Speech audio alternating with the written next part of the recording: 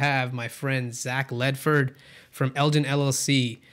The company has taglines of zeal, strength, and wisdom. And I just told Zach, I think you guys should put in built to serve in there because just knowing you as a person, I think you've really built something here that is going to be around for the long term. And how that kind of led to you forming business like Eljun and uh, you know what you're setting out to do. So just walk us a little bit through the history. We're in the business at Eljun of, of kind of working in the human resources and shared services space, specifically with technology. Um, and so by nature, that is a people business, right? Mm. And so putting people first and really focusing on that piece of it, uh, I think is, is really a defining feature of Eljun, right? True, we're a technology company. True, we're extremely adept at doing like analytics, statistical analysis, machine learning, integrations, all that good stuff, right? But that's the mechanics. That's the underpinning piece. The important part are, are people, the problems and issues they, they see every single day, and how you can kind of overcome those things, right? That's right. that's what we're in business to do. Um, and so we have done that, you know, in, in, a couple different sort of contexts. You know, we've done um, things to simplify workflows between, you know, like a human capital management system and a payroll system, sort of like end to end, uh, ground up total rebuild to get those things in sync, and did it in like ten days, right, with two people. Uh, and that's using sort of the, the core technology at the center of all of it. So uh, integration platform as a service, iPaaS technology, mm-hmm. Specifically with, with SnapLogic. Uh, so put that in context. If you tried to do that without that kind of platform, without our expertise, it's not going to take you 10 days. That's going to take you probably several months. Two things in particular Eljun's really good at. One is we don't create HR software like i'm not going to try to sell you a human capital management system or a payroll system or timekeeping uh, system we come with the attitude that you've picked the systems that you have in place for a reason we're going to help you maximize the, the utilization of all of those individual pieces into uh, you know, you know as, as standalone products but then holistically comprehensively so that right. the so in total right the sum is is greater than or the whole is greater than the sum of its parts mm-hmm. expression is really bad at the uh, call no. I think we've got the automation, the integration, some of those interconnected pieces of it, but we're also bringing very, very specific and deep expertise in the human resources, people analytics space. And so we're coming with a semi-standardized data model, right? Like that's part of our value proposition to you is that we don't have to start from scratch to figure out how to get the most out of the data you have the challenge for a lot of places is that the way the data is organized because they have these different applications is going to be different from business to business but the baseline model you want to use for the analytics, that's fairly consistent if you know what it is.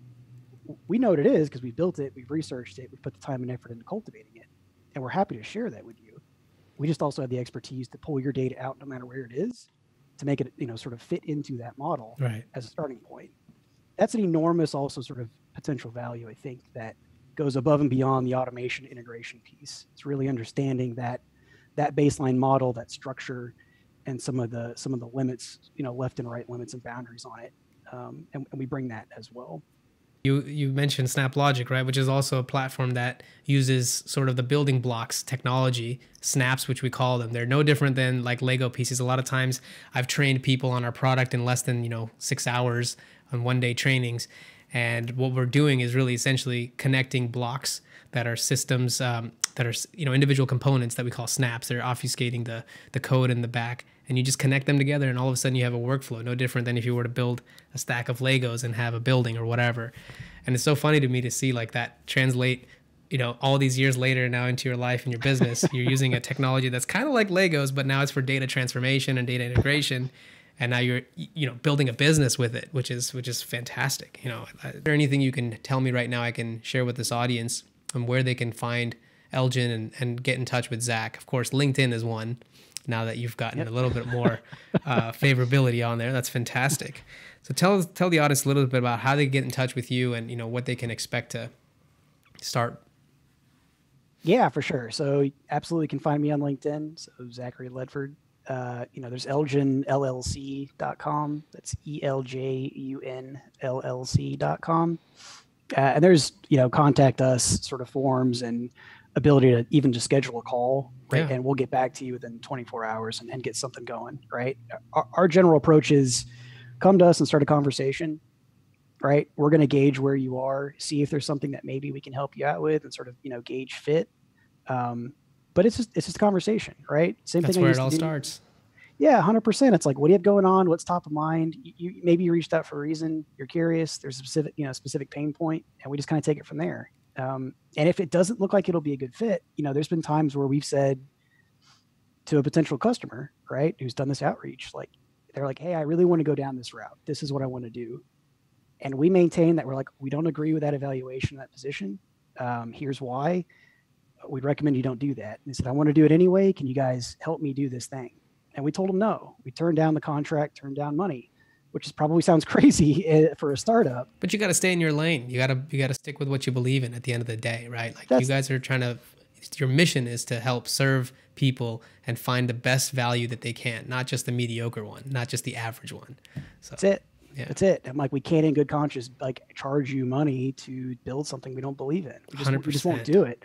There's a ton of other shops that are willing to do that. Like, and if you want me to call some of the people and be like, hey, talk to them, yeah. I'll, I'll, hook, I'll hook you up. It's um, like a um, bad mechanic. Well, I think that guy over there, I think he could just hammer that out for you, you know? right. They'll be happy. and they'll charge you 200 bucks and they'll be happy to do it. Like, right, no right. problem.